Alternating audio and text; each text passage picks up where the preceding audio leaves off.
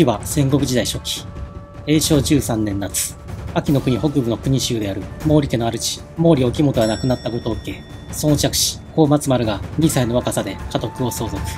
沖本の弟、毛利元就は、幼い高松丸の後見役となり、大大名大内義興、そして急速に勢力拡大を進める天子常久に挟まれながらの舵取りを担うことになった。局面が変わったのは、高松丸が家督を継いで5年が経過した大英元年。隕石先の高橋家や吉川家が相次いで卵派に転じたことだ。それを受けた元就は、時流に逆らう時ではないと判断し、大内から卵へ転じることを決めた。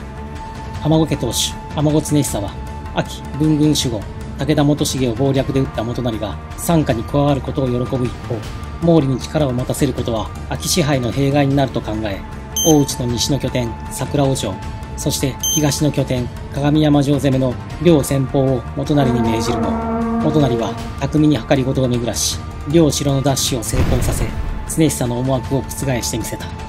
しかし、その戦いから数ヶ月後、高松丸が病によりこの世を去ってしまった。毛利家着流の断絶により、家督は封建役である毛利元就が継ぐ動きが濃厚になるも、天子常久は孫を毛利家の養子に入れ、総領主とさせる介入策に動いた。しかし、元就の参謀、志地広義の起点により、卵の介入は未然に防がれ、重心一で元就が毛利家の当主となった。常久は、ならばと、元就や志地の祭りごとに納得していない天子派の坂広秀や渡辺卓を煽り、元就の腹違いの弟、愛王元綱を擁立する動きに出るも、それを読んでいた元就は、心を鬼にして、弟、愛王元綱、そして、坂広秀、渡辺卓を粛清した。この動きはすぐにも、鏡山城代、亀井秀綱の耳に入り、毛利への家督介入の手を全て封じられたと、出雲の国に早馬を飛ばした。その頃常久は、西方期の米子城に入り、法規侵攻の指揮を執っていた。大英4年4月より始まった天子四六1万4000による放棄侵攻は陸と海の二手に分かれ始まった。天子常久の次男、国久が大将を務める陸軍は、米子城から二里東の小高城を威嚇するように布陣。一方、常久の三男、円谷沖久が率いる水軍六千は、阿弥陀川の河口で上陸すると、より元秀の守る富永城を攻撃。援軍を要請する間もなく、城を囲まれたため、より元秀は城を捨て、東へ落ちていった。円谷沖久は翌日にも東へ進軍し、上兵が逃げ去り、空となっていた天使山砦を本陣とすると、軍議を開いた。これ沖久殿の番ですぞ。ちょ、ちょっとその手は厳しいな。はあ。ではこちらに変えましょう。こ、これも厳しいぞ。いやー、厳しいな。降参ですかな。降参だと、わしが負けるはずがない。天子常久の三男、遠陽木久が降参するときは、腹をかっきって死ぬるときぞ。はあ。忖度せよと仰せですね。じゃははは、わしの勝ちじゃ。拙者の負けにございまする。勝ったぞ勝ったぞ。のんきに碁を打っていては、山名に守りを固められまするぞ。兵を休ませるのも大将の務めじゃ。親方様からは、ヤバセ城を落とすまで休んではならぬと、きつく言われておるのですぞ。親父のお口など流しておけばよい。それがしは目付けとして配属されてもおるのですぞ。だからなんじゃ、親父に陰口でもするのか。そう、そうは申しておりませんが、進軍が遅れれば、それが死が親方様に叱られるのです。山瀬城までここから三里は東。それに、大将のとかもせねばならん。今宵はゆっくり休み、明日早朝より出立とする。わかりました。では、諸将らに命じておきまする。それでよい。明日朝の出陣に関しては異論ございませんが、今頃、国府館の山名住行に、当家の進軍の知らせが入った頃でしょう。山瀬城に小詰めを送ることも。それはないと読んでおる。何故に？勘ぞ。か、勘ですか？ひとまず物見は放っておりますゆえ、その知らせを受け、動きを定めるのも手かと。うるそれでよい。明日も頼むぞ。はは。円谷沖久の勘は当たった。国府館の山名住行や周辺の国衆に動きがないことを確認した天子別荘隊は、早朝より進軍を開始。矢瀬城まで半里西の赤崎の地に陣を構えた。城を出る気配はなさそうぞ。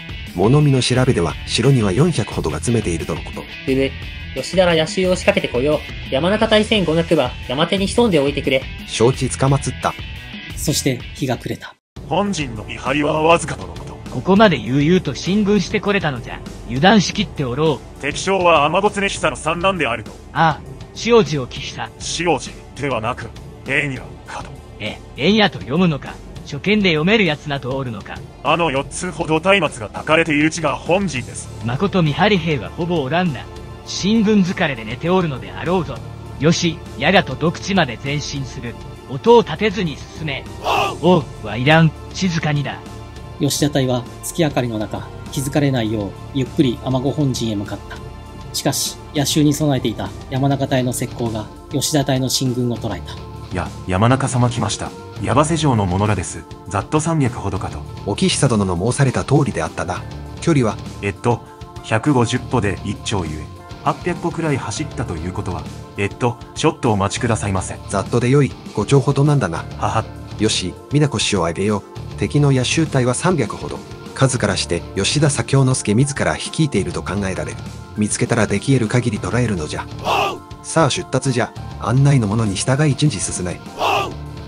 山中隊は一時とかからず、吉田隊の最後尾を確認した。親父、あれは宝木山名のも、吉田の広報隊であろうかと。間違いない。一気に仕留める。かかれい。山中隊の奇襲は見事に成功し、吉田隊はあっという間に混乱に陥った。さ、大変です。後方より敵の伏兵が現れ後続が混乱しております。な、なんじゃと、野襲は見破られておったか。敵の数は我らよりも多いのです。すぐにも城へ撤退の下城。そう、そうじゃな。者ども策は取りやめじゃ。山手に向け。殿、天子本陣より敵兵が迫ってきております。ぐっ。あの本陣の静けさは偽りであったか。わ、わしとしたことが。ぼやいている暇などありません。さあ急ぎ。手遅れだ。な、何をする？天子一門、山中勝重にござる。吉田左京之助殿でございますな。そ、そんな名であったかの。その具足は吉田殿で間違いござら。ち、さあ煮るなり焼くなり好きにいたせ。と、言いたいところじゃが、助かる道はないかのどうであろうか。これより本陣に連れて行くゆえ、大将、縁や沖久殿に泣いて嘆願してみなされ。どのくらい泣けばいいかのやはり涙は必要か。はよ歩け。いたって、蹴ることなかろうに。天子別動隊のさ、縁や沖久じゃ。いつぞやは、兄、正久が世話になったのを。お、お、天子正久殿よの、笛の音は絶品であった。その笛の音ももう聞けぬ。笛をなくされたか。違うわ。い、いてて。最初の放棄侵攻の際、お主の裏切りで大敗を期したを名誉するため、武功は競ったがあまり、敵の世を受けこの世を去ったのじゃ。そ、そうであったか。こたびも偽りの投稿であろうが。偽りではない。誠に雨子に下る決意でここに参っておる。その証は示してくれるのであろうの。あ、証とは無論、戦働きに決まっておる。な、なるほど。では、戦場でしっかり働いてみせましょうぞ。よかろう。ではすぐにも、ここにおるお主の友回りと共に、当家の本陣へ向かえ。す、すぐとは、城に戻らねば僕も。矢場瀬城に戻ることは許さぬ。案ずるな、ウルは本陣にいくらでもある。それを使うがよい。わ、わしの城はどうなる？我が隊がしっかり守っておく。さあ連れて行け。はは。そ、そんな。城に戻さぬは良き判断であったかと。であろう。奪った句は捨て駒として使う。将棋に同じぞ。ははは。いかにもですな。山中殿は矢場瀬城に使者として向かい、吉田左京之助が降伏したことを告げ、城を開城させてほしい。お任せあれ。うぶ。この翌日、矢場瀬城は開城となり、円谷沖久は悠々と城の占拠に成功した。一方、降伏した吉田左京之助は、天子常久が入る米子城に運ばれた。がははは。沖久のやつめ、捕らえた吉田を本陣に送ってきよったか。はは。別動隊は矢場瀬城に入り、東からの小詰めを食い止める構えとのこと。よしたと沖久に伝えておけ。はは。さて吉田左京之助、そなたは一度東京を裏切っておる。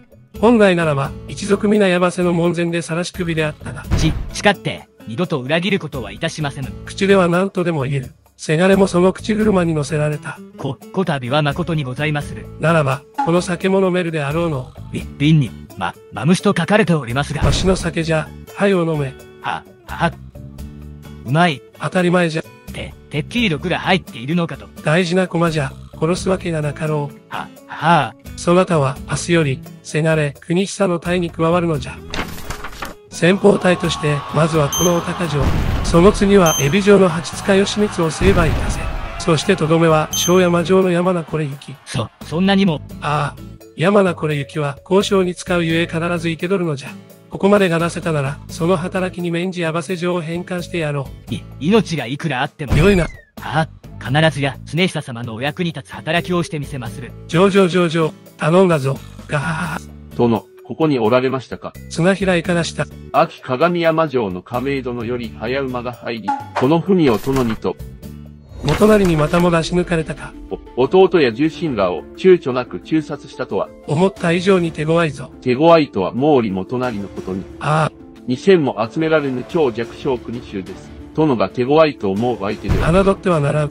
有田中入しかり、桜尾や鏡山しかり、そしてこたびの毛利の内向もまたしかり、戦は数ではないことをあやつは熟知しておる。な、なるほど。されど、毛利は当家の参加、敵ではございませぬ。毛利はこれまでに幾度と心中先を変えておる。いつ敵となってもおかしくはないぞ。戸田城には、毛利の重臣赤川元信が証人として入っておりますれば、弟であろうとお家のためなら切るものぞ。証人の命なんぞつゆほども考えておらん。毛利介入の手は消えました。今後はいかに、当家が強くありさえすれば、毛利が離れることはない。まずはこの侵攻を成功裏に終わらせ、放棄を支配下に置く。さすれば、元成の考えも多少は変わろう。さようですな。法騎手も山名を滅ぼすことが何より先決。そうじゃ。亀井には、毛利から目を離すなと伝えておけ。かしこまりました。毛利のお家騒動が未然に防がれたことを知った常久は、毛利への介入を諦め、放棄進行に注力することとした。この時の常久に一つだけミスがあったとすれば、毛利よりも怖い存在である大内義興が、秋の国の目前まで迫っていたことを察知できなかったことである。ふむふむ、用をできておる。はは、この時のために周防の宮田組に掘らせました。容姿採用。ありがたき幸せ。お次。は、こちら、民の商人から手に入れました。蝦夷の民族装束に。ふむふむ。これはまた、奇抜な模様が描かれた装束ではないか。容姿、採用。ありがたき幸せ。お次。は、こちら、異国はインディアンと呼ばれる民族の兜にございまする。鳳凰鳥の羽が見事じゃのう。これを見た武田の兵は怯えるであろうぞ。ほほほ。よし、これも採用。ありがたき幸せ。お次。もういいでしょう。うーむ。何か物足らぬ。そもそも何をこしらえてるのですか？見てわかるであろう。せがれ、義高の馬印ぞ。う、馬印ですと、元来、大将の馬印とは？馬印くらい、世に決めさせてくれ。まあ、まあわかりました。ところで、兵隊は整ったのじゃな？ええ2万5千の兵が半年は賄える数を整えておりまする。伊予の川の道直殿も、港より兵糧の補給をいただけるとの約も取り付けておりますれば。うむうむ。して、武田や天子にこちらの動きは知られておらぬであろうの？街道及び海上は封鎖しておりまするゆえ、まず気づかれておらぬでしょう。とにもかくにも宮島の奪還からぞ。そして、せがれの追い陣ともなる。この追い陣にて武田光和を討ち取る働きをさせてこそ、大内の世継ぎが安弱となるもの。も、もしや、若様を大将にさせると。そうじゃ。それゆえ馬印をこしらえておるのじゃ。大将大内義高の策にて武田が滅びる。これ以外の勝ち戦は認めぬ。わ、わかりました。軍略に長けておる置房。そなたは軍艦として、義高と共に指揮に当たるのじゃ。はは、必ずや若様の初陣を華々しく飾ってみせまする。頼もしいぞ。しからば、それがしから策を一つ。待っておったぞ。モーセ。はまずは、全軍をもって、宮島の厳島館を取り戻しまする。厳島館には、友田沖富士の重臣、小畑沖行が800ほどで守っているとのこと。広中沖金殿を大将とし、杉森殿、杉殿を副将とする水軍5000が、一挙に宮島に上陸し制圧にかかる。同時に、中山城に入る内藤殿の隊を街道まで前進させ、友田沖富士がこもる桜尾城を牽制。その間に、東家視力1万5000が王の壇上のこもる鹿山城を攻め落とす。ふむふむ。そうなれば、金山城の武田光和も、桜尾城の援軍として向かってこようの武田主力が桜尾城に入ってしまっては、たとえこちらが数で優位といえど、無理に攻めてはこちらの被害も甚大となりますね。光和をおびき出すことができるのじゃ。そこで、せなれを大将に据え決戦に持ち込み勝利することこそが。地の利を知るは敵方なのです。それに、秋国衆らがいかほど天子や武田に組みしているかわからぬ中、無理に桜尾城を落としにかかるは愚策であろうかと。先ほども申したであろう。せなれを大将とする分で、武田光和を討ち取ることが、誠の勝利であると。ええ、故に策には続きが。続きがあるのか。うむ聞かせよ。は当家の信仰を知った武田光勝が兵を集め挙兵するのに3日はかかりましょう。その間、尼子常久へ援軍要請の早馬を飛ばすでしょうから、その常久の命にて尼子派の秋国衆らが動き出すまで早くて8日は必要。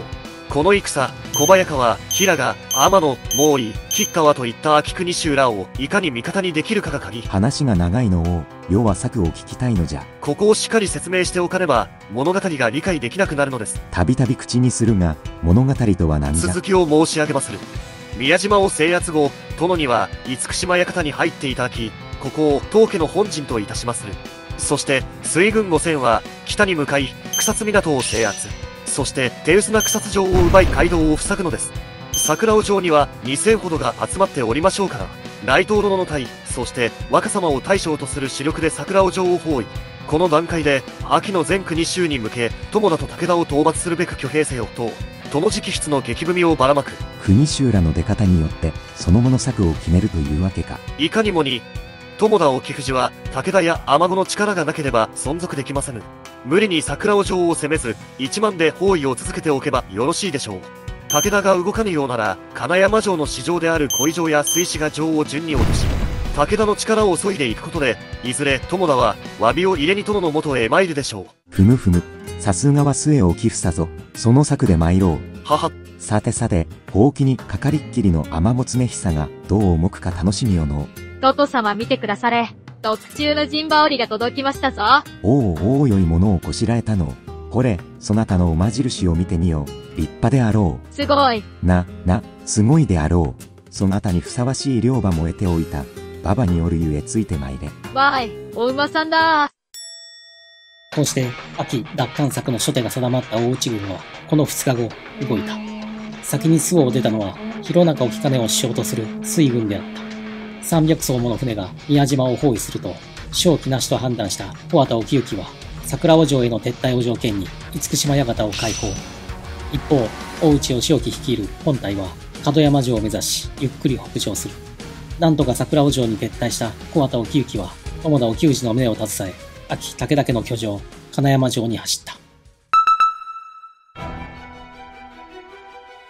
いかがなされた、小畑の。小畑です。ああ、間違っておらぬか。いつも間違われるゆえついつい。急ぎ参られたところを見るに、宮島で何かあったのですが。宮島どころの騒ぎではありません。周防や長門からかき集められた300艘もの水軍が宮島を制圧。わしは逃げるように桜尾城に撤退したのじゃ。門山城の王の男女からは、大内の主力が迫っていと、小詰王政の知らせが届いた。み、宮島が奪われてしまったか。確か内藤沖森は、中山城へ、大内の主力を率いるは、末置房に。いや、大内義興自らが率いており、その数二万は超えておろうかと。二、二万じゃと。義興はすでに武前から宋に引き上げておったか。ええ、迂闊でしたな。水軍も加えれば二万五千はおろう。まともに戦っても勝ちはござらん。殿、大内の水軍が秋灘を北上しているとのこと。水軍の狙いは桜尾城ではなく。はい。草津城を奪い街道を封じる。すなわち、桜尾城との遮断が狙いかと。ま、まずい。我が主は、桜尾城へのご詰め、そして門山城の救出を求めております。分かっておる。茂清は、急ぎ草津城に入り、兵を集めてくれ。かしこまった。小畑殿、すぐにも、香川役場兵らの隊をこの金山城に集める。同時に、鏡山城の亀殿に山子の援軍を要請するゆえ、桜尾城に戻り、友田殿に籠城でしのいでいただくようお伝えくだされ。伝えてはおくが、城に蓄えはさほどないはず。急ぎご詰めを向かわせてくだされよ。ああ、全力いたす。ではごめん。誰かおるか。はは。この文を、急ぎ、鏡山城の亀殿に届けてほしい。受けたまわりました。よいな、急ぎぞ。はは。大内義興、自ら大軍を率いて侵攻してくることを知った武田光和は、天子の援軍を要請するため、鏡山城に早馬を向かわせた。事態を知った上代亀井秀綱は、宝器米子城の天子常久に早馬を飛ばすとともに、秋の天子白国衆らに武田への援軍要請を指示した。要請は翌日にも郡山城の毛利元就に届いた。良いか太郎。そなたはいずれこの毛利を潰しようとなるのだ。この乱世はまだまだ続くであろう。その中で、毛利のお家を存続させるには、何よりも計りごとを巡らすことが寛容。わかるな太郎。わかるわけないでしょ。まだ二つなのですよ。うるさいおばばが来たぞ。おばばとは何ですか？これ、お久殿が太郎君を探しておられたのじゃ。私が預かります。し、当家の大事な世継ぎぞ。しっかり抱くのじゃ。うるさい。わかっております。相変わらず元気よの。元成様、急ぎの要件とは？王指示、この文を読んでもらいたくてな。どなたからに？鏡山の亀戸のからぞ。まだ、当家への介入を諦めておらぬのか？そうではない。まあ読んでみよう。はは。天子三角西へ、毛利元成殿。5月に入り、大内義を飢餓2万を超える軍を従い秋に侵攻してきた。すでに、宮島並びに、厳島神社大内水軍により制圧されたと聞く。義興自ら来たのじゃ。桜城や、我が鏡山城の奪還だけにとどまらぬであろう。すなわち、秋全土を制圧するが狙いと見るべきぞ。先般の桜尾城や鏡山城での戦いに、毛利家が大きく関わっておったことを、大内方も耳にしておろう。二度も大内を裏切った毛利家を、大内義興を徹底的に潰しにかかろうで、人ごとに捉えてはならぬぞ。当家は放棄侵攻のさなか、出雲からの援軍が入るの、今少し時がかかろうゆえ、ここは、秋国衆らの力で防ぐしかない。金山城の武田殿と伝達を密にし、ことに当たってくれ。よいな、片手巫女は、じゃぞ。な、何ですか？片手巫女は、とは？金山城の武田殿と伝達を密にし、ことに当たれ、のことであろう。は、はあ。しかし、当家にあれだけ介入してきておいて、ようもこのような無礼な文が書けますな。ははは。あの者は、虎の意を狩る狐、いや亀ぞ。好きに言わせておけばよい。されど、2万を超える大内主力が、誠に秋に侵攻してきたのだとすれば。ああ、武田だけではない。我らも矢の射程に入っておろうの。ではすぐにも重臣らを呼び緊急の分岐を。いや、まずは状況把握からぞ。すでに関正親には、笹井軍の調べに向かわせておる。もしや、亀井殿の要請に応じると？それを決めるのは、今少し先となろう。それゆえ、先に指示にだけ、この文を見せたのじゃ。そうでしたか。されど要請に応じねば証人として出した赤川元信殿の身が危うくなりますぞ。ああ、故に亀井殿には、挙兵にあたり、天子常久殿直々の下知をいただきたい。と返答しようとな。なるほど。時が稼げますな。うむ。わしは、吉川や天野、平柄がいかに動くのかを確認する。指示、そなたは、亀井殿への使者の役を託すぞ。はは、お任せあれ。毛利元就は、天子からの要請に即座には応じなかった。その頃、小以上の城兵を引き連れ、草津城に入った友重清は、300層もの大内水軍が迫ってくる光景を、櫓で確認していた。敵船の先方は港まで半国ほどかと。わかった。友様、冷やの支度がと思いました。うむ。そなたは、漁師らを引き連れ小早船隊を頼む。はは。よいな。兵糧を狙うのじゃ。心得ております。さあ、大内船団がやってくるぞ。全員冷やの支度にかかれ。一方、草津港に向かう大内水軍では、敵が浜で冷やの支度に入りました。見るからに500もおらぬと見える。冷やなんぞ通用せぬわ。さあ数の怖さを思い知らせてやろうぞ。先方より上陸を始めよう。よし今じゃ、冷やを放て。大内と武田の戦いは草津港にて始まった。武田隊により放たれた火矢は浜に寄せる大内船を襲うも、すべての船を狙うことは困難であった。ははは、思った通りじゃ。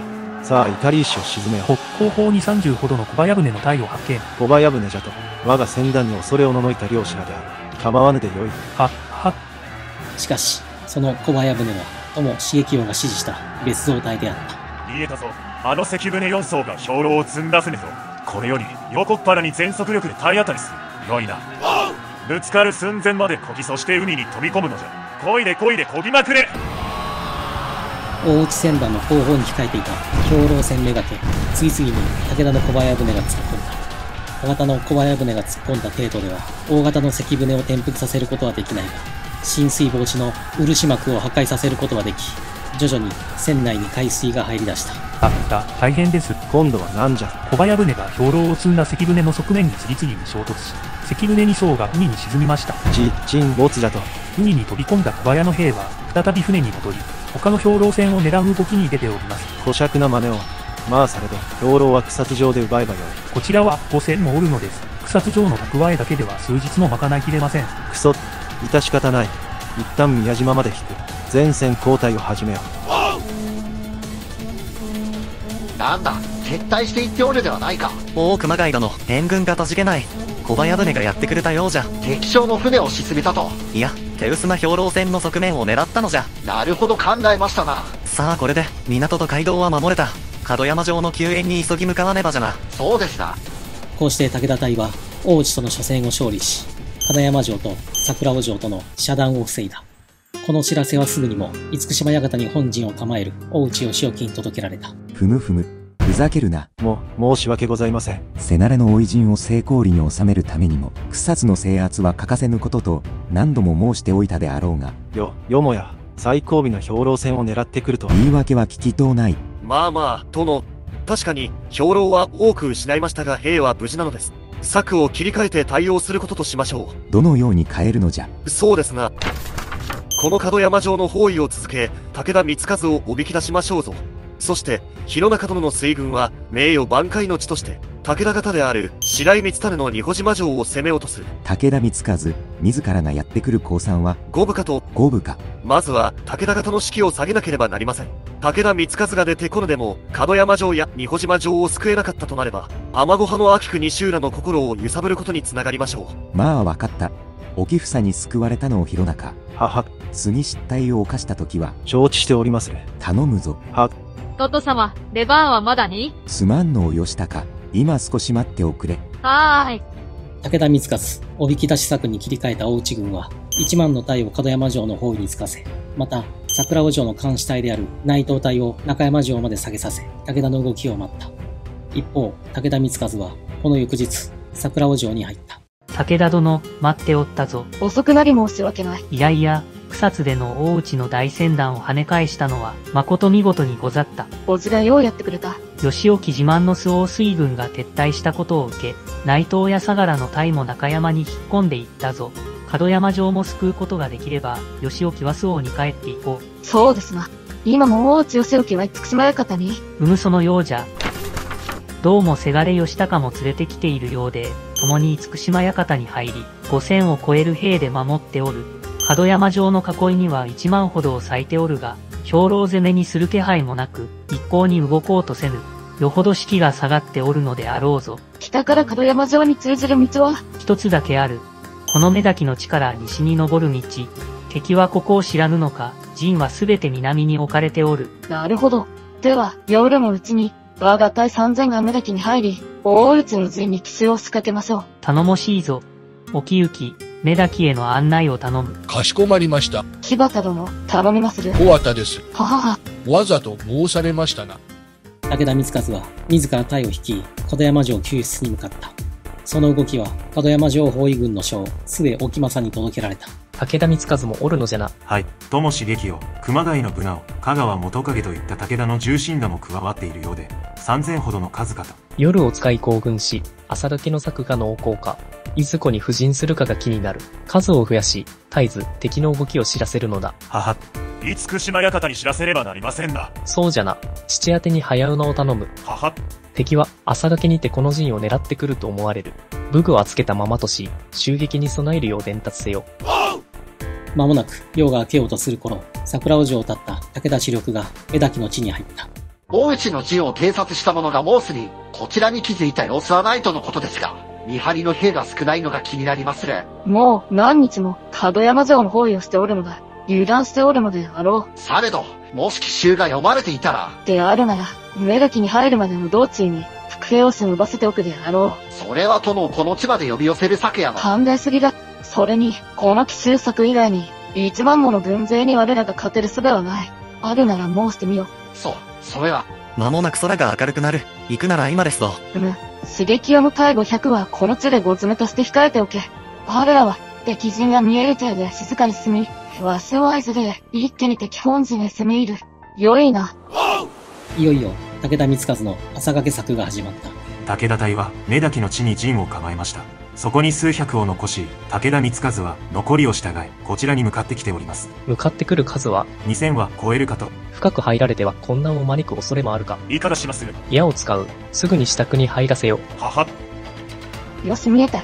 あの順幕の先に大将がおる。一気に仕留めるぞ。かかれ。ずぶずぶ。な、何？で、敵が矢を放ってきておる。数が多いゆえこちらの策は見抜かれていたかと。こ、このホラガイは、敵の何かしらの合図かと。い、いかん。両翼の隊が敵襲を受けておりまする。一旦目だけまで下がるべきです。敵本陣の目の前ぞ。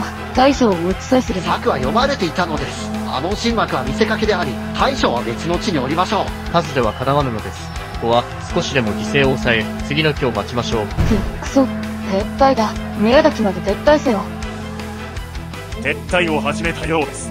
追い打ちに。いや、追わぬでよい。何故に、武田光和を撃つまたとない好機です。若様が軍配を持たれるまでは武田光和を撃てぬのだ。そう、そんな。日中には、父と共に若様が宮島からこの陣へ入られる。そうなれば、目抱き攻めが若様の追い陣ともなろう。さあ、明るくなる前に、矢の回収と被害の確認を指示するのだ。は、は、は、武田軍による朝掛けは失敗に終わった。その知らせはすぐにも厳島館の大内を初期に届けられた。せがれから知らせが入りました。今朝方、武田光和自ら隊を率い、野襲を仕掛けてきましたが、見事跳ねのけたとのよし。ふむふむ、用をした。思ったよりも早く、若様の初陣となりますが、すぐにも若様を連れ、海を渡り、せがれの本陣に。それがのう、昨晩から腹痛で伏せっておるのじゃ。武田光和がすぐそこまで出てきているのです。ここは無理を押して本体に合流し、大将を務めるべきかと。可愛い義高に無理はさせられぬ。沖房、そなたが大将として向かい、門山城を落として参れ。わ、わかりました。では行って参ります。頼んだぞ。末沖房は友回りを連れ、宮島を出ると、着手末沖正の本陣へ入った。一方、目だけまで撤退した武田光和は、門山城主、王の男女に会うべく、山を登った。武田殿、援軍片付けない。兵糧は尽きておらぬか。主兵らが次々に城を抜け出したこともあり、兵糧は持っておるが、兵はいかほど、山脈もおらぬかと。山脈おれば誘導には十分。よ、陽動とは、もしや城から撃って出よと。いかにも。今宵野襲いたします。男女の無隊が西より敵をか乱くだされ。さすれば、我がするくがい東より流れ込み、敵は途端に混乱を起こすであろされど朝掛けが失敗したばかり、敵は構えておろう。う。ええ、我らの隊に対しては、されど、城からの奇襲には備えておらぬはず。しくじれば、我が隊は全滅になる。このまま手をこまねいていても、いずれは、大内の海軍に城を攻め落とされるのです。ならば、先手を打つが最善の策。わ、わかりました。今宵、明和国へ、頼みまするぞ。あ、あ。何が頼みまするぞじゃ。大野様、大内の重臣、末置房殿が名代として一見を求めておりまする。いよいよか。すぐ向かう。は。末置房殿が領代とは驚きました。王の男女どのほどのお方です。失礼があってはなりませんからな。しかし、友田沖藤殿に恩があるゆえ、当家に敵対しておるのであろうが、よもや武田と手を組むとは。確か15年ほど前、武田元重に攻められ、多くの領土を失ったと記憶にございますが。ああ、今でも武田は憎い。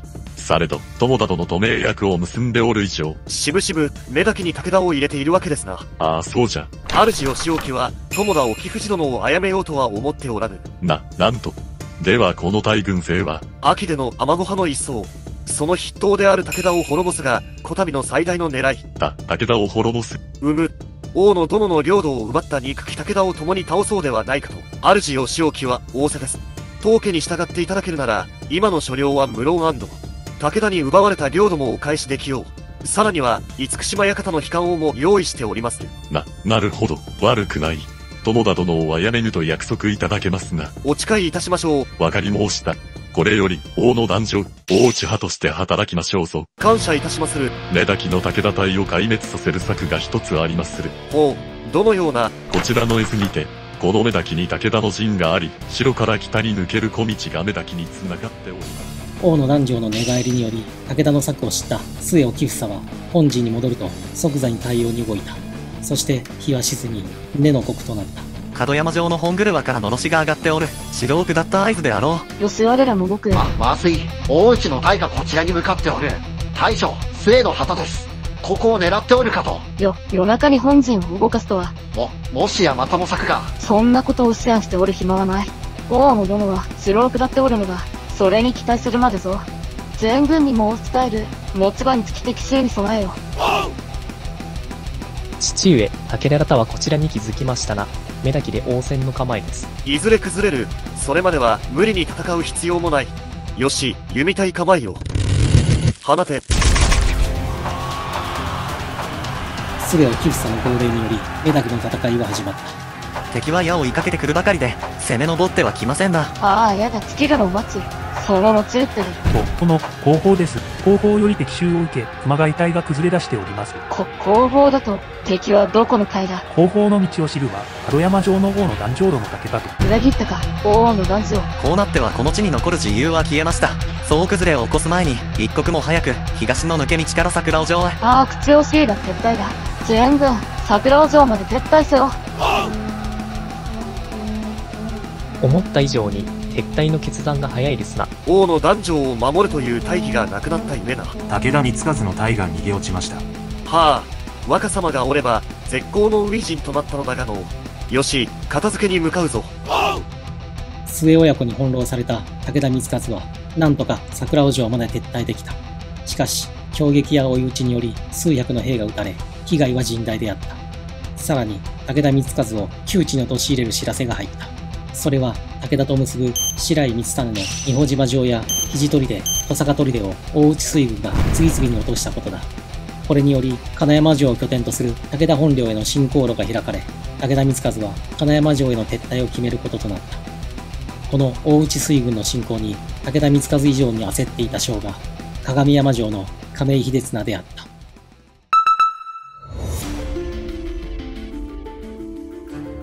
まずい、まずいぞ。資産かたじけござらん。もとい、申し訳ござらん。ど、どんな間違いじゃ。それより、毛利の思い腰を上げさせられぬか。毛利ですかええ、わしが何度頼んでも、殿からの命が入るまでは動かぬと、偉そうに書いてきておる。亀井殿が、毛利家、必要なる介入を行ったと聞きました。それがゆえのことでしょう。それに、毛利家は、坂広秀、渡辺卓、桂広住といった重臣を失ったばかり、挙兵どころではなかろうかと。武田が落ちたなら、次はここが狙われるのじゃ。そなたの領土も含めな。現状、いかほどの秋国衆が挙兵すると申してきておるのです。ああ、絵図で説明する。まず、竹原小早川、水軍をこの暮れ裏に出すとのこと。役には立たぬであろうが、ないよりはマシな程度であろうぞ。二保島城が落ちたことで、どこの山城の遊び間の態度を変えてきておる。高田軍や豊田軍に至ってはどこの兵をよこす知らせはない。秋北部の者らにとっては、海手の出来事であると、悲観を抱いておらぬのでしょう。それゆえ困っておるのじゃ。常久殿自ら援軍として動いていただかねば、毛利や吉川は動かないでしょう。今一度、危機感満載の文を常久殿に送ってみては。危機感満載の。まあ、やるだけやってみるとするか。武田光和殿が本領に戻ったと聞く。天野殿、金山城に入り武田殿を励ましてやってもらえぬか。わかりました。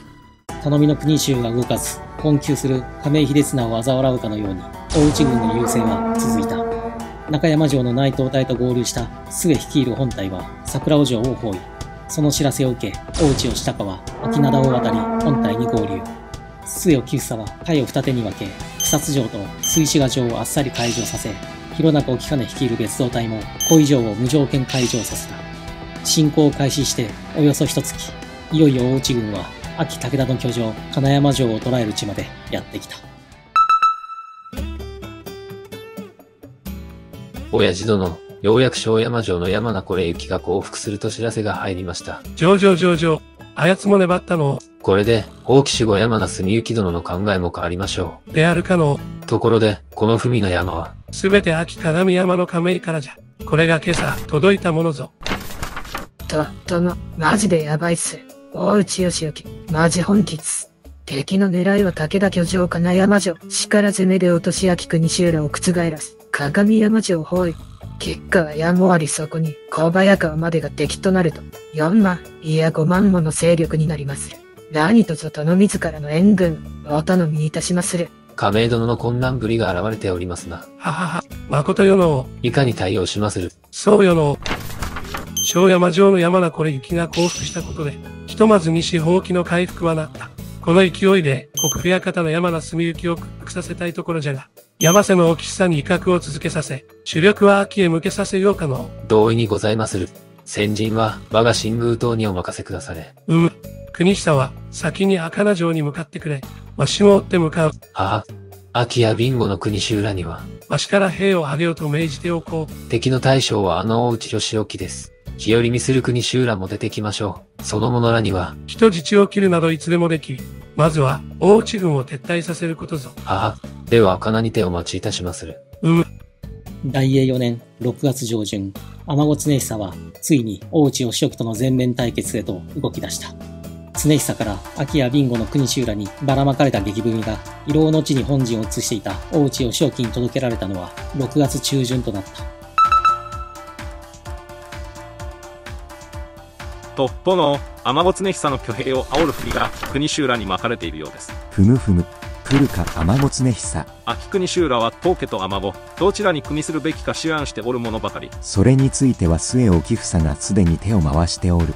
これ、ムタ小早川から天子には従わぬとの文が届いておる。ムタ小早川はそうでも、竹原小早川は天子の水軍として、クレーラにたびたび出没しておるのです。それよりも厄介なのは毛利です。毛利元就の治める地は秋の高田郡。天子常久の小詰が金山城へ向かうには、必ず毛利領を通ることになる。毛利が天子派であることは、戦犯での戦で証明されておりまするが、毛利を寝返らすことができれば、毛利毛利とうるさいのを。二千も集められぬど田舎貧弱国衆に媚びを売るつもりはない。兵の数ではございません。毛利元就はたった一人で、数万の敵を撹乱させる術を持っておるのです。元就が敵か味方かで、戦況は大きく変わるのです。元成元成とうるさい。お取り込みのところ失礼いたしまする。よしみ、友田の心は変わったか？いえ、天子常久が秋に入るとの知らせが届いたのでしょう。友田殿は桜尾城で徹底応戦の構えを変えるつもりはないと。やはり金山城じゃのう。武田が落ちれば友田の心も売れよう。その金山城で新たな動きが。ほう申せ。はっ。武田光和は変わらず本車のままですが、光和の王子友重清の対500が西山砦に移り、熊谷や香川といった武田家臣の隊は、坂の上の地に入ったとのこと。天子の五詰めを待ち、いずれ東山砦に入るが狙いであろうかと。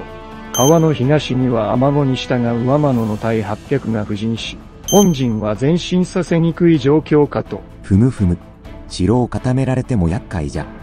末に、急ぎ金山城を落とせと伝えよ。ではそのように。大内義時の命が発せられた頃、毛利の出方を伺うべく、近隣国衆らが、秋の国、吉田の郡山城に足を運んでいた。殿、備後高山城主山之内直道殿がお越しです。吉川、平賀、天野に続き、ついには、ビンゴの山之内家当主までが参られたか。有無統制。はは。お初にお目にかかりますな。それがしが、ビンゴ、山之内の頭、山之内直道にござる。やっとお会いできましたな。拙者が毛利の隣にございまする。元成殿のお働きは、ビンゴの山奥までも轟いております。家中の内向を二度も切り抜けたことですかな。いやいや、鏡山城を落とした妙計のことに。あれは天国久殿の手腕。拙者は何もしておりませぬ。謙遜なさらずと。まず、先に、拙者から山之内殿に問うてもよいですかな。なんなりと。渡辺卓の着手、渡辺虎一がそちらで世話になっていると聞いたが。もう調べられておりましたか？山之内殿の制裁は、坂家の分家筋に当たりますから。落ちる先は、リンゴの山之内殿であろうと定め、草の者に探らせました。いかにも、渡辺虎一は、それが死の城にてかくまっております。虎一は、元服を望んだゆえ、わしが烏帽子親となり元服させておる。いや、山之内殿の下で元服をと。ああ、わしの中良一時与え、渡辺徹と名乗っておる。渡辺徹か。渡辺家の習いである漢字一条を意味名にしていただいた配慮、誠感謝いたしまするが、渡辺徹は、当家を裏切った渡辺卓の着手、このまま見過ごすことはできかねる。今は、当家の大切な家臣。切られると分かって毛利殿に渡すなど、それこそできかねる。どうしてもと。わしは、毛利殿とやり合うためにここへ参ったのではない。渡辺の剣からは一旦離れましょうぞ。それよりも。ああ、わかっておる。山之内殿は、わしがどう考えておるか確認しに参ったのであろう。そうじゃ。天子新宮島の国久殿は赤名城に入った時か。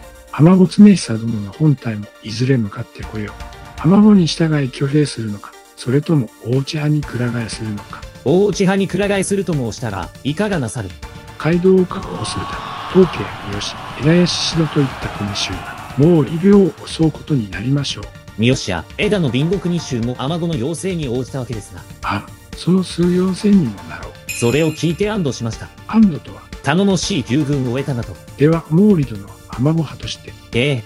ピークドと王地の末を寄付佐殿からは雨子に手を貸すなとの要請を受けておりましたが、吉川や平賀との談合の結果、リンゴ州の出方い感で決めようとなっておりました。はあ、よかった。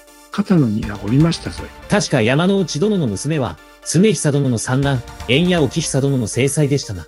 うむ、その縁もあり、常久殿からの無言の圧力がきつくての。ははは、よくわかりまするぞ。我が隊は3日後に出立し、八木城を目指すこととなる。その地にて、毛利元就殿のお越しをお待ちしておりまするぞ。は、道中お気をつけて。渡辺家や坂家の断絶から当家は立ち直っておりませんからな。今、4000ものビンゴ州に攻められては、真っ先に当家が滅亡しておりましたな。まあ4000は持っておろうが、それでも3000は集まろう。ここに、当家に櫛の宍戸も加われば、回収の終わっておらぬこの郡山城で籠城したとて、10日ともたぬであろうぞ。ですな。しかし、大内は別動隊だけで1万5000。その大将が、大内義興の嫡男、義高。初陣でもあるとのことゆえ、士気の高さは相当のものでしょう。軍艦はあの切れ者末を寄付さ。副将には、岩見守護大戸井田沖行や、杉沖桂歴戦の将も加わっておる。大内義興としては、天子軍が参集する前に武田を下し、桜尾城の友田を降伏させ、秋西部を固めしのち、天子主力との決戦へと持っていきたいはず。ああ、そうであろう。故に、武田の居城金山城を急ぎ攻め落としに動くはず。金山城には、ざっと3000ほどでこもっていると聞きましたが、あの城は、10倍の兵でも落とせぬ難攻不落の堅城。故に、軍艦末を寄付さは困っておろうの。高内の若殿、初陣戦に泥を塗るわけにはいかぬ。されど焦って攻めても犠牲は増える一方。さて、どう動くか見ものよ。当家はいかに、わしは、街道を通る国襲来の出迎えがあるゆえこの地を動けぬ。代わりに指示広吉、そなたが当家の主力戦を引き、先に八木城へ入ってもらうこととなる。承知いたしました。緊急の軍議を開くとする。重臣打を急ぎ集めてくれ。はは。大永4年6月下旬、八木の地に浜尾派の国衆らが続々と集まり出した。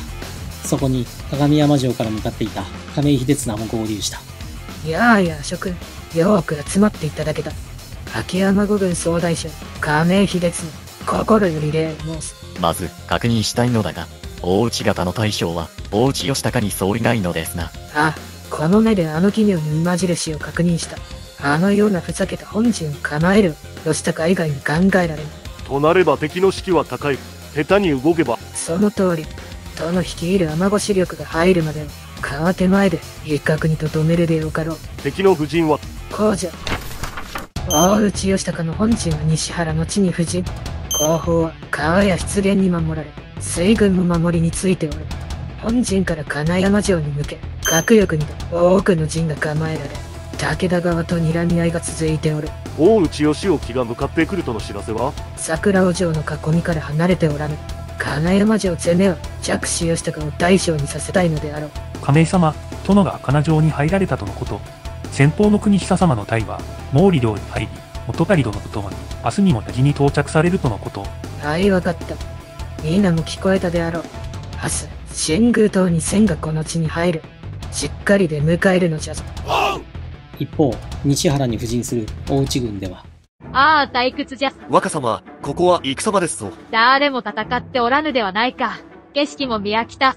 うまい飯もなければ、名護もおらぬ。それが戦場なのです。戦場におるなら、もう初陣は終わったのであろう。厳島館に戻る。まだ戦は始まってもおりません。戻ってはなりませんぞ。ええ。ならばとっとと城を落としてしまえばよい。こちらには多くの兵がおるではないか。そうも簡単にはいかぬのです。一つそれが新作が。おう、おもろいのが来た。問いだに問いだ。と、問いに。うむ。ある次女が遊戯をこしらえていたが、どうも野菜が切れない。よく包丁を見たら歯が欠けていた。さあ次女はその包丁をいかにした？包丁を研いだのでは。研いだ。で正解ぞ。研いだ。研いだはやるな一度で、研いだ、と申すとは。さすが研いだだ。ははは。は、はさあ、策を聞かせてくれ。あ。絶好の知らせによれば、このヤギの地に続々とアマゴ派の国衆らが集まっていると聞く。アマゴの主力も迫っているとの噂もあり、手をこまねいていては金山城どころではなくなる。わかっておる。で、策とは何じゃ？この坂の上の地には武田家臣、熊谷と香川の兵、千ほどが布陣している。先にこの地を狙うのはいかがじゃ。さすれば金山城と八木城の間にくさびを打ち込むことになり、城との伝達を断つことも叶うであろうぞ。太陽を開けるか？わしと杉殿の対三千の登ればなせよう。敵も油断しておろうゆえ、夜のうちに川を渡り、一気に攻め落とす。熊谷信直や香川元影は武田の重心。どちらかでも撃てれば、この戦の弾みとなろう。よし、明日の夜決行としよう。頼んだぞ。任せておけ。一月動かなかった大内軍がようやく動き出した。同じ頃、毛利元就は八木の毛利陣に入った。殿の到着を今か今かと待ちわびておりましたぞ。ははは、気持ち悪いことを申すな。天国久殿は、当家にいかなる指示を。第三陣で控えておれとのこと。珍しいですな。我らを先方にさせむとは。ああ、よくわからぬが、天子常久殿のメイトのこと。へいえ。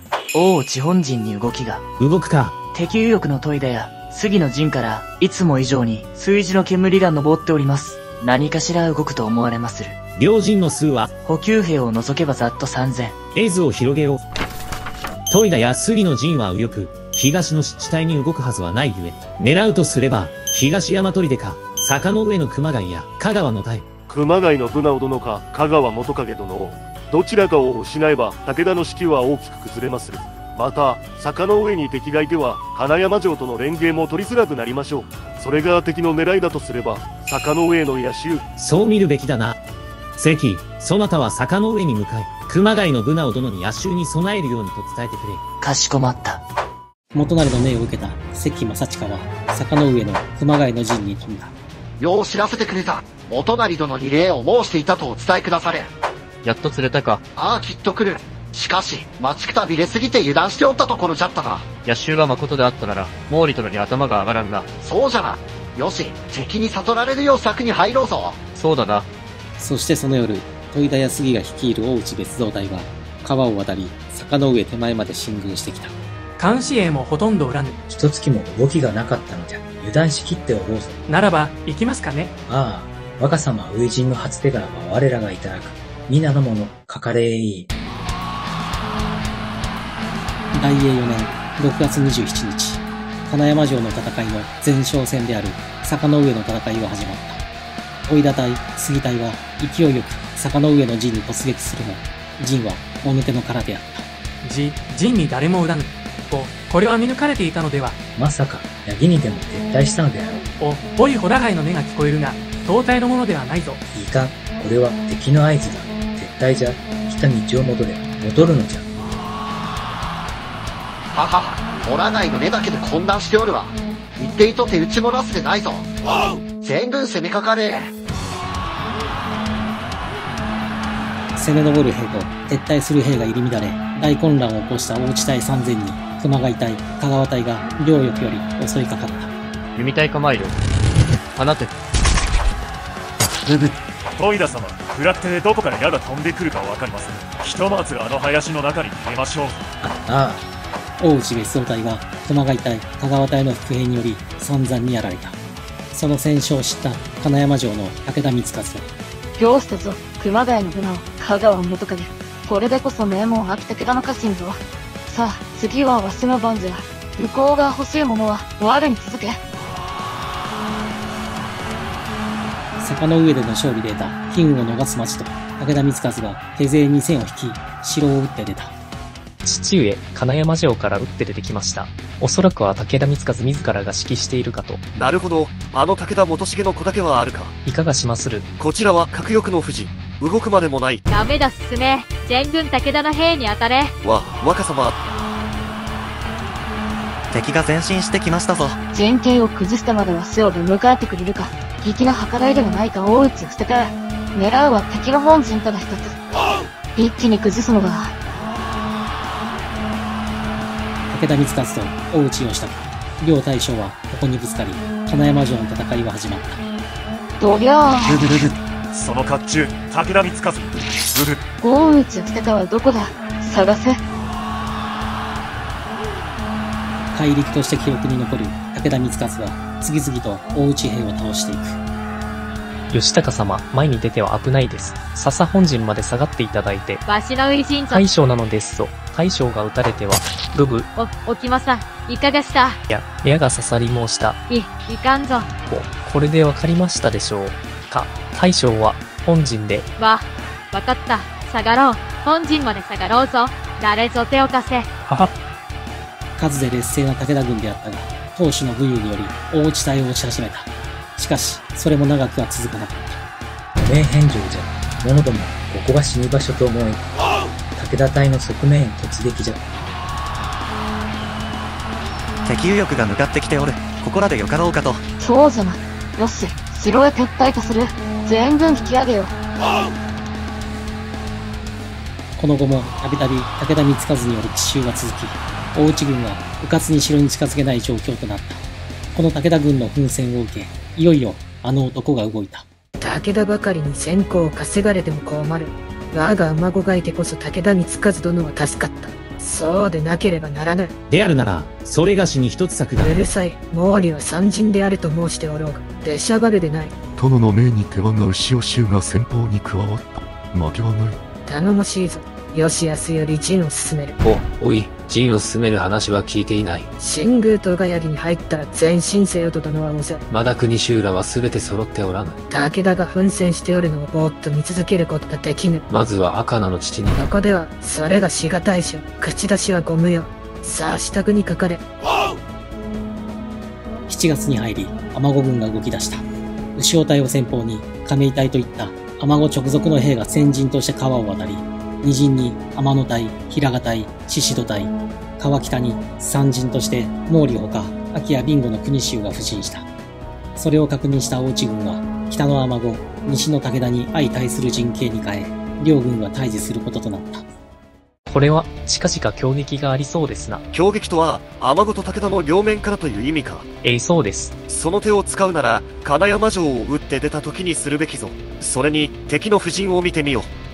秋国衆らを後方に追いやり、亀井や牛尾といった天子不大の隊が最前列におり、亀井卑劣な武功を欲しておるのであろうよ。武功を欲していると。坂の上での敗戦、そして武田軍の度重なる襲撃に狼狽する東隊の状況を見て、今なら勝てると亀井は踏んだ。秋国衆らに手柄を持って行かれたくないのであろう。散々先方としてこき使った毛利を奥に追いやっておるのがその証。なるほど。されど数では勝っておりますが、武田の襲撃を受け、東隊の兵は疲れておりまする。新手の攻撃を受けるとなると、我らにはとっておきの武器があるではないか。ありましたっけ？大内義高様の初陣であることぞ。なるほど。沖政、矢傷の家ておらぬそなたは、ここに残り、金山城の監視を頼む。わしは、若様と共に天子軍を叩きにかかる。はは。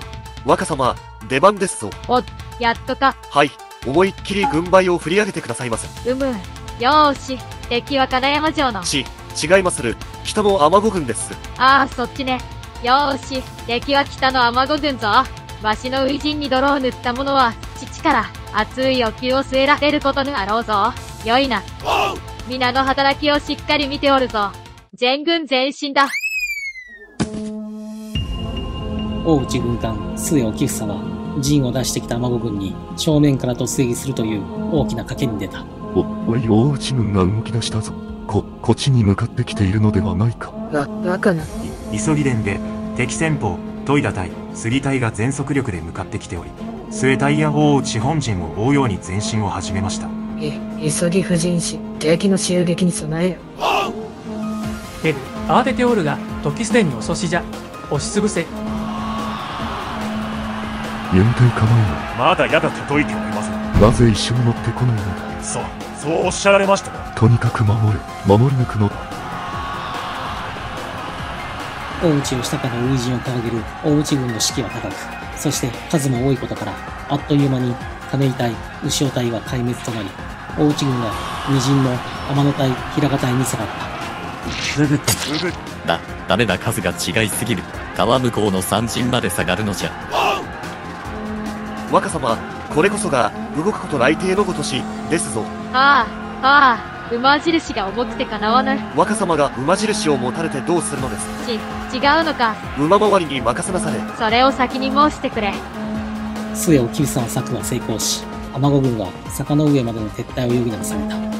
この天子軍の惨敗により、金山城の武田軍も意気消沈となり、一方の大内側も城攻めまでは持ち込めず、再び退治の構図となり、半月が過ぎた。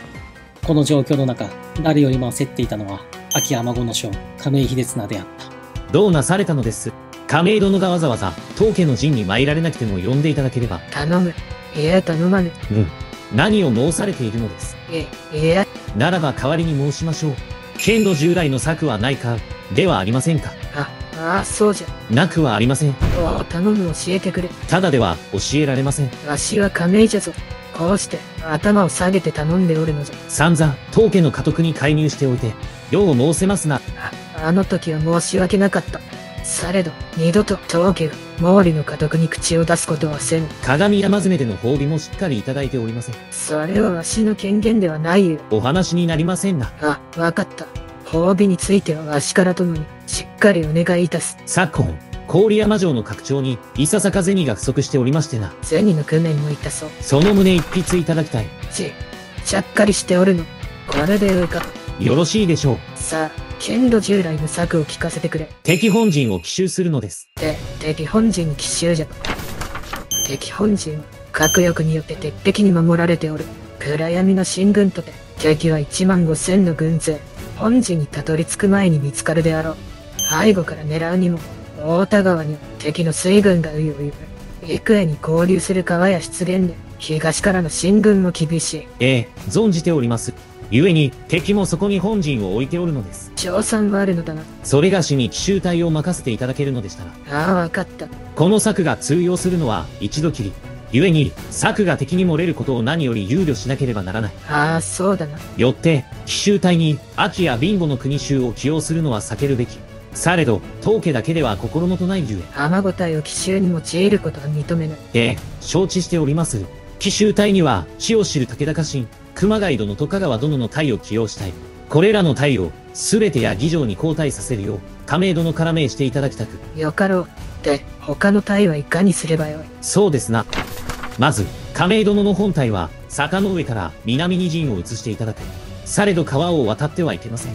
あと、金山城にも密使を送り、城を打って出ると。毛利元就の策に全てを委ねた亀井秀綱は、元就の指示通り隊を川手前まで前進させた。その動きは間もなくして大内本陣にも届いた。雨子の陣が川手前まで前進しました。金山城からも、再び城を撃って出ると村人が噂しておりまする。天子常久が来るまで動かぬと思っていたが、その前に、もう一戦仕掛けてくるつもりか。父上、同じ手は通用しません。そなたは、まだ焼き図が癒えておらぬであろう。無理はするでない。大事ございません。この先武田と天子が連携して動いてくることが予想されます。ああ、それしか、我らに勝つ手はないからな。研いだ隊を天子に、杉隊を武田に向け、陣の構えを変える。昼夜を問わず、北からの敵襲に備えるよう指示を入れるとしよう。はは。その頃、八木城まで下がった毛利元就は、同様に陣を下げた熊谷信長を香川元景を呼び寄せ、軍議を開いた。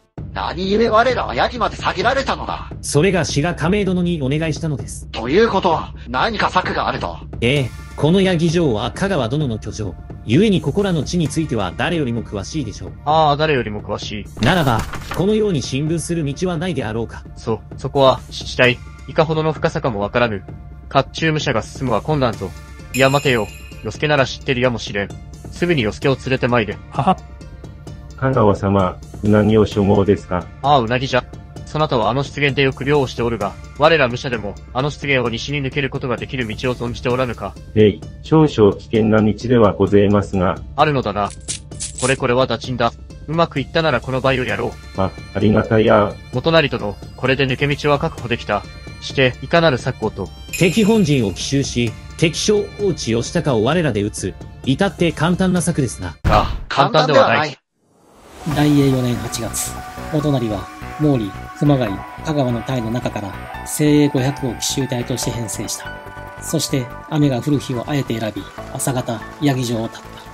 洋介ら村人の案内のもと、湿地帯をゆっくり進むと、日暮れには敵本陣が確認できる地までたどり着いた。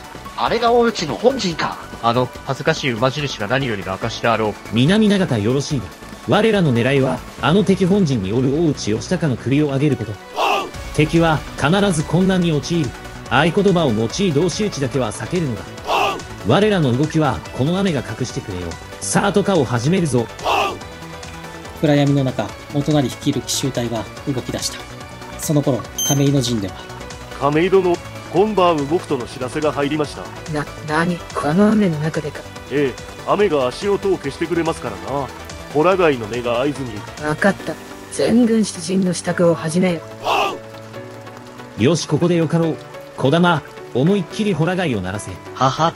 行くぞ、かかれかかれかかれ。ついに元内の野襲が発動した。おりゃ、ブブ。奇襲じゃ、毛利が野襲を仕掛けてきたぞ。ブブ。ブブ。誰だ、ブブ？大内義高が首、討ち取ったり。な、なんと、若様が撃たれただと。ち、父上、後方より敵襲。このホラ貝はそれか。毛利の手の者が野襲を仕掛けてきたと聞きました。もう、毛利元就め、監視の少ない後方を狙ってきたか。何やら騒がしいが、宴でも始まったのか？わ、若様、ご存命でよかった。勝手に殺すでない。野襲を受け、若様が撃たれたと陣中が混乱しております。い、いかん。若様、一旦ご冷たいが控える新庄まで下がってくださいませ。何故下がらねばならぬ。本陣が危ういからです。沖政、若様を頼む。はは。混乱するでない。敵は少数ぞ。末様、天子軍が川を渡り迫ってきておりまする。金山城の松明が動き出した。城を撃って出てくるやも。ま、まずい。杉殿の隊は武田を食い止めるのじゃ。な、なんとかしましょう。敵方の虚言に惑わされるでない。持ち場に戻り本陣を守るのじゃ。末を久久の命令は、暗闇の中、混乱する本陣においては無力であった。右翼に布陣する小板隊に本陣の状況が伝播するのに相当気はかからなかった。なんじゃなんじゃ、あの本陣からのホラ貝は何の合図じゃ。わかりかねますが、天子軍がこちらに向かっているとの知らせは誠のことうむ、我らは天物襲撃に備え。お、本陣から参りました。お、あのホラ貝は何じゃ。毛利や熊谷らの隊に後方から野襲を受け込んだ。大将義高様は撃たれたとも、逃げ落ちたと。若様は撃たれたじゃと。ゆ、行方がわからないのです。ただただ混乱を起こしており、トイラ様には本陣へ加勢をいただきたく。クソ、卑劣な策を得意とする毛利が仕掛けてきたか。き、北に無数の松明を確認。浜子戦法集かと思われ、その数2000は超えるかと。本陣が混乱の中、浜子に戦との戦いを選ぶは武将の行い。まずは本陣を立て直しに動かねばならん。本陣に向かう、わしに続け。本陣が混乱との知らせを受け、右翼の戸田隊が南に隊を抜け火星に向かった。しかし、その動きがさらなる混乱を招くことになる。末様、右翼の戸田隊がこちらに向かってきまする。おそらくは本陣の救援かと。そんなことは命じておらぬ。ひ、ひょっとして、天子軍の奇襲を受け総崩れを起こしたのか。そうじゃ間違いない。毛利は本陣と戸田の陣、2カ所で野襲を決行したのじゃ。いかん、無理強いしては被害が拡大する。全軍撤退を命じる新庄の地まで退却じゃ。殿、大内軍の撤退が始まったようです。そうか。よし、我らは下がり、雨ご隊を待つ。無理に追い打ちをしてはならぬと皆に伝え。はは。1万5千いた大内軍であったが、たった数百の奇襲隊により総撤退を強いられてしまった。なんとか新庄の地まで落ち延びた末尾久久は大内義高と合流した。わ、若様はご無事で何より。何がどうなっておるのじゃ。世の初陣と、城から離れてどうするこ、これはウイジー戦ではありません。良いですか？戦などなかった。あったではないか。武田や孫と対峙しなかったのです。夢です。夢を見られていたのです。申している意味がさっぱりわからぬ。さあ船に乗り、草津城まで参りますぞ。お、おいどうなっておるのじゃ。北からの天子軍や金山城から撃って出た武田軍は新庄の地まで追い打ちを行い、上げた兜首は500を超えるほどであった。毛利殿、こたびもまたそなたに助けられた。誠片付けない。武田隊の粘り強い抵抗があってこそ策はなすたのです。何を申されますかあのうちの策姿勢を聞くさに総退却を命じさせたのです。元成殿の奇策、この信長を心より敬服いたしまする。亀井殿の許しがなければ、それが下を動けますなんだ。ああ、そうじゃ。すべては、天子軍総大将、亀井秀綱の考えた奇襲策。野割元成殿、養子指示に従い働いてくれた。がはは。奇襲策については、下がっておい。は、はは。亀井殿、天子軍にごめ、感謝してもしきれませね。うむうむ。これで、大内義興は金山城全面を諦めるであろう。ええ、されど大内義興はまだ秋におります。秋を奪おうなどと無料と思われるよ。徹底的なる敗者に。まあまあ、この勝利に便乗されたいお気持ちはわかりまするが、焦りは禁物です。されど友田殿の桜尾城は、今も包囲を受けておる。主山子常久様が秋に入られる日も近い。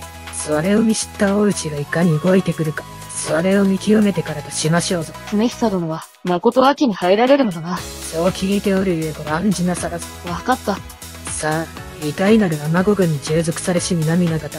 こたびの勝利を受け、天子の武勇を、秋、いや中国全土に轟き、敗れた大内の意向は地に落ちた。なおそうであろう。天子が大内にとって代わり中国を支配する日もそう遠くない。この戦いがその始まりとなるであろうぞ。厳島で、のんきに茶でも立てておる、首置き鳥の大内義を機に、我らの雄たけびを聞かせてやろうぞ。勝ち時じゃ。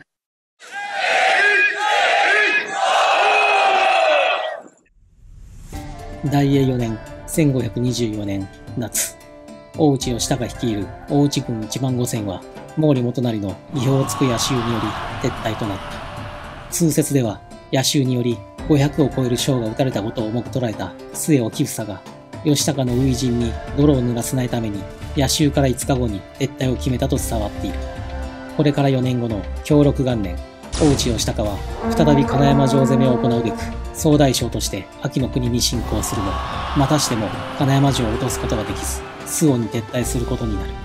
その後も武田光和が存命の間、佐藤金山城は誰にも攻め落とされることはなく、二度も大内の大軍勢を跳ね返した秋武田の献上として広く世に知れ渡ることになる。ここまでご視聴いただきありがとうございました。当番組では通説や新説、そして歴史学者様の見解などを総合し、雪村なりにたどり着いた一つの合戦の形を動画にしております。戦をしなければならなかった理由は必ずあり、勝つための策を定め、いざ戦に臨み、そして勝敗が決する。時の戦国武将の立場や考えを想像することで、合戦の印象は大きく変わるのではないかと思います。事実など誰も知らない。そして絶対もない。だからこそそこにロマンがあるのです。この番組が皆様の想像力を沸かせる一助になれたら幸いです。それではまた別の戦場でお会いしましょう。雪村でした。